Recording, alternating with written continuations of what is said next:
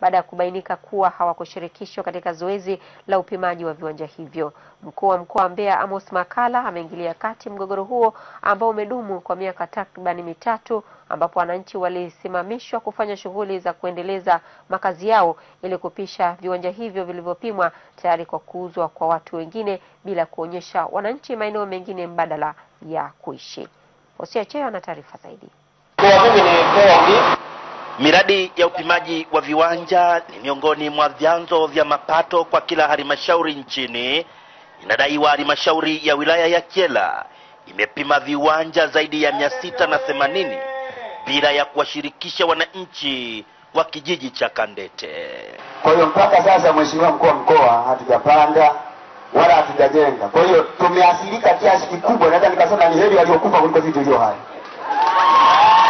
Najenga nyumba yangu ilikuwa na futi tano, walisema hapa tuko kukutia, tunaomba usiendeleze, ulipwe. Ukishalipwa kama utapata nafasi ya kununua uwanja, basi utakuja kujenga nyumba yenye ramani zinaanguka kakao zinaungua moto. Tulikuwa tumepanga mazao, ndizi, kila kitu, sasa tumebaki kuwa omba omba. Mkuu wa mkoa wa Mbeya Amosi Makala amelazimika kuja hapa kijijini Kandete na kuingilia kati mgogoro huu wa wananchi kupisha maeneo yao bila kushirikishwa. Kuna viwanja mia sita themanini vimepimwa hapa. Viwanja hivyo mia sita themanini. Kwa maamuzi ninayoyatoa vibaki kwenu, vibaki viwanja vya wananchi wa Kandete. Kama shamba ni la Joni lina viwanja vitano, viwanja hivyo ni vya Joni na apewe haki Joni.